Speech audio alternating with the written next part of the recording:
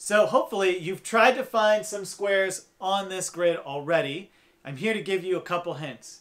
So you may, we see this one here. You can imagine moving this one around into different places to get a bunch more squares. So that's one thing. The second thing is you might find that there are squares of different sizes that you can make. In fact, the whole thing is also a square. So that's another one I can make. And there are some medium-sized squares that I can make in between.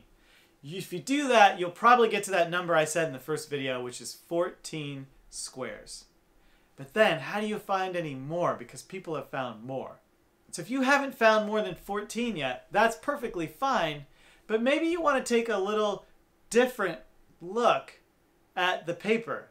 Maybe take your paper and turn it a little bit and see if that gives you a different perspective on where the lines can be and how you can maybe find more squares.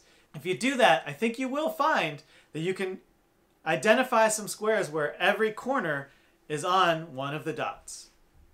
So give that a whirl, see if that helps you at all.